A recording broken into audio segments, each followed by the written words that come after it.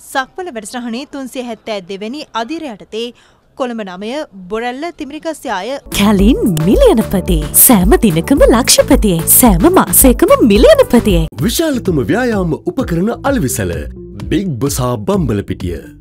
වේලුවන විද්‍යාලයට රුපියල් ලක්ෂ දොළහකට ආසන්න වටිනාකම්කින් යුත් සුහුරු පන්තිකාම රූපකරන පරිත්‍යාග කිරීම සිදු කෙරුණේ විපක්ෂනායක සජිත් ප්‍රේමදාස මහතාගේ ප්‍රධානත්වයෙන්.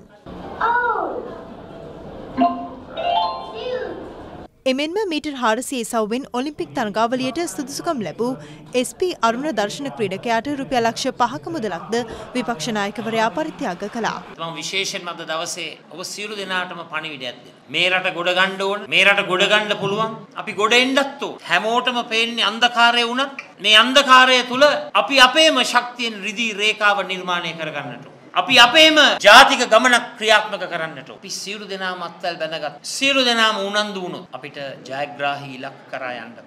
ඉතිහාසයේ ඕන තරම් පාඩම් තියෙනවා. අන්ධකාරය තුල රිදී රේඛාවන් නිර්මාණය කරගත්ත රටවල්. එවන් පාලන තන්ත්‍රය. හැම වෙලාවෙම හිතන්නට ඕන ඔබාමා ජනාධිපතිතුමා හිතුවා වගේ ඔව් අපිට පුළුවන්. ඒ නිසා අපේ රටේ සාර්ථකත්වයේ පදනම අපි සුහුරු වෙන්නට අපි ස්මාර්ට් වෙන්නට මේ සියල්ලක්ම තුල අපිට පුළුවන් අපේම ජයග්‍රහණය නිර්මාණය කරගන්න.